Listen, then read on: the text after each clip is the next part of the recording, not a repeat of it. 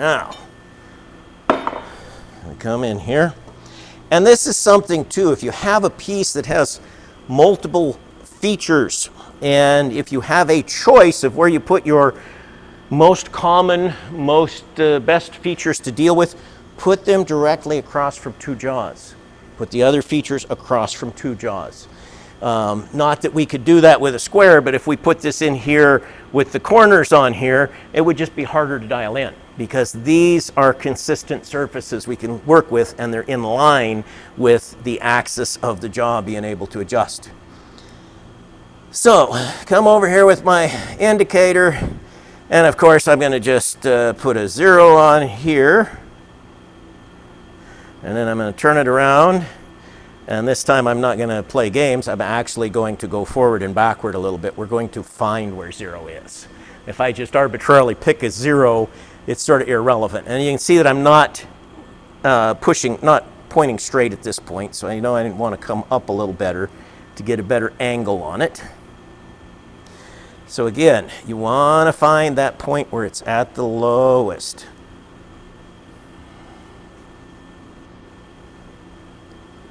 So now we got it marked. It's just a little below zero. Look on your secondary counter over here to make sure that you're not off by a turn or something also when you're first starting.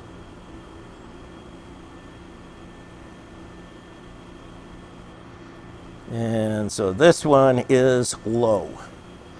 We are low by about 50, about uh, 50 thousandths, which means we need to move by 25. Now, we can do it by going back and forth like we were on the round piece, but on something where it's square and you're moving stuff, that's harder. So it pays to lean over, get in the way of the camera, and go to the back that way. It's just easier. Then we come that up to 25, roll it. Yeah, it's pretty close to the 75 mark there. And I'll go ahead and I'll, we'll set that to zero again. So we have a new zero.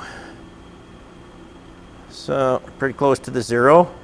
And that's just a little off of the 17 mark. We'll come over here and we're off pretty close. Kind of, it's rolling, the tip is rolling a little bit depending on which way it goes.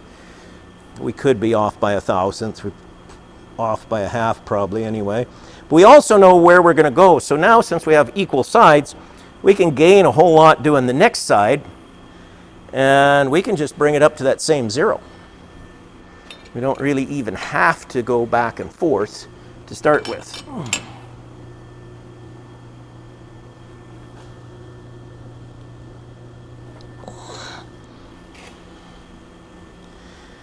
So there we're just uh, half a thousandth under the opposite one, which was not precision. We're right at zero. We're two over. So that's moved a little as we went. Yeah, and we're a little under. So our zero is pretty close. Doesn't have to be perfect, especially since we're just dialing this in to not machine on it. But um, we can tighten that down closer to the zero there. And that's coming up real close to zero. Not that zero is critical. Yeah, now we're coming up just over. So my actual shoot four point should be about a quarter of a thousandth over zero. Close enough. We're not going to worry about it. We're going to get on with some more instruction of other ideas for dialing in the square stock is not actually all that accurate anyway. If I got it that close there, it would be wrong by the time I got out here. So, but hexagons. Hexagon would be pretty darn nice in our three-jaw chuck, wouldn't it? We go back to our, oh yeah, our good old three-jaw chuck. Well, darn them. When they made these, they made these for production. And try and make it to make it happy for you. Uh, and a lot of people, oh, it's cheap, cheap, cheap bolt. No, they make this, they forge this all in one piece. And this could be off as much as 10 thousandths of an inch with this for run out on a very good bolt. And some low grade bolts will be out by a 16th of an inch. So don't ever think that this head is true. Just even if your jaws and this was accurately formed, it ain't gonna be true. Now, so again, our four jaw. Now, if we have the four jaw that has the jaws, because you see we're going to be on two flats, and then we're going to be on two points. So if you have the four jaw that has the serrated jaws with a serrated groove right down the middle, yeah, problem. What you're going to have to do is you're going to have to lay a piece of shim stock on these sides here so that they don't grip as good. You can still use your grippy ones for the other two sides. And now if you are on something that you can't get messed up, you're going to have to put stuff on all sides so that you're not making grip marks in your part. But normally uh, stuff you're doing with a bolt head is not going to have to be all that precise. And on this one here, it's not a problem.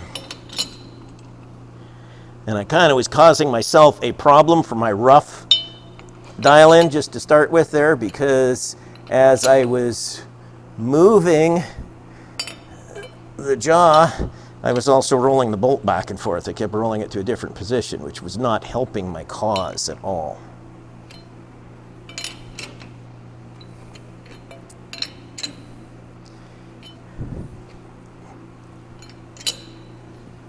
Okay, so we got that eyeballed in there.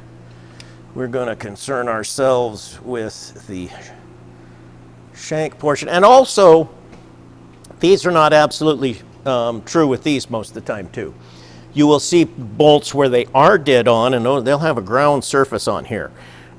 Um, but those are very special bolts.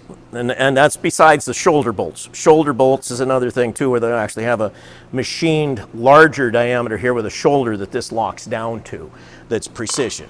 But even on a standard bolt, there are some that are precision here, but you'll, you'll know it. They're, they're pretty. Okay, so which one do I want to do first? I think I want to do the points first. Okay, I'm at 50 there, and I'm going minus, minus, minus a whole bunch. Okay.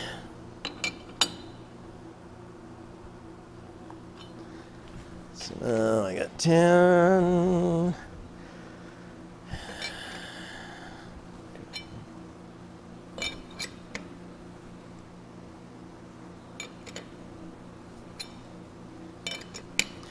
Sometimes it's easy to do that, and sometimes just because you want to, um, you roll it back and forth and just do little bits. It gets too boring to just do it exactly the same way every time. That's close to 60. It may not be round. I'm down at 61, 60-ish, 60 and a half, 59. Oops. Okay.